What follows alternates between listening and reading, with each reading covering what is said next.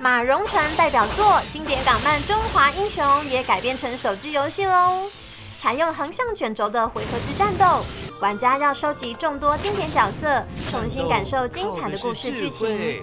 战斗时，每回合人物都会累积怒气，在累积满之后就能够释放各自的技能，同时还可以运用队伍能量释放出更强大的绝技。不仅特效华丽，也都各自具备不同的效果哦。游戏里还有丰富的角色养成系统，以及众多精彩的关卡以及游戏模式，等着玩家们来体验哦。